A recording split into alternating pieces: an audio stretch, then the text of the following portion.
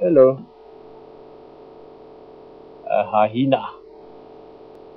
This is the female. Yeah, it's going to be another giraffe. Or an elephant! Really? Yeah, we can't see it yet. We'll see it just now. Guys, we've got an elephant behind the brush so we can just hear and see it move. Look at this hyena. This is actually that female. If we have a close look at her face, it's the female that we, um, when the den was still active, they've moved their den and we need to find it again. You can recognize it from that floppy right ear. You see the tip sort of hanging over. Do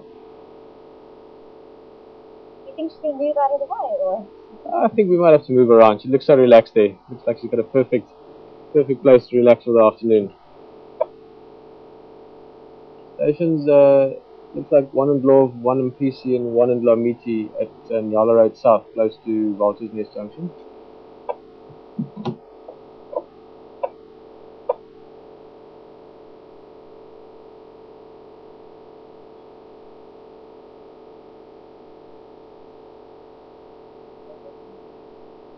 Yeah, look at the hyena for a little bit. Looks like she's half asleep there.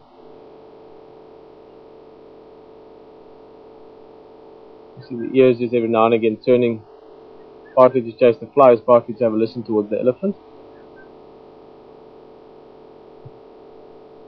Testing the breeze there as well. Of course, hyenas got phenomenal sense of smell, so she could maybe smell something that is far away, maybe other hyenas or who knows, maybe even another predator or something moving through the area.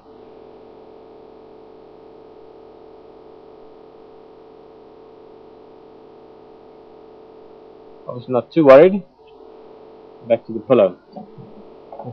Let's have a look at the Ellie.